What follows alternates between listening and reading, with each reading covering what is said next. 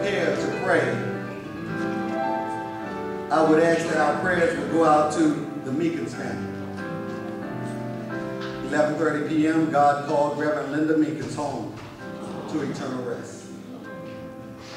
So she can rest from all the labor.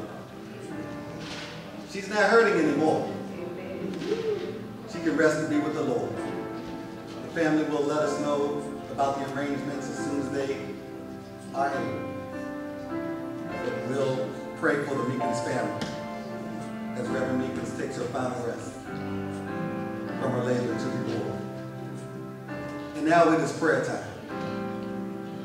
You may want to pray for the Meekins family. You may want to pray for yourself. It may be somebody that we, we don't even think about. You may want to pray for them. But now it is your time to speak to the Lord. I can't assure many things, but one thing I can assure, when you talk to God, God does hear you when you pray. So now it is your time. We open up this altar, you can come forward and just speak to God in your own way. Tell whatever's on your heart. He's here to listen to you. And not just listen to you, but to answer you. The altar's open. Whosoever will.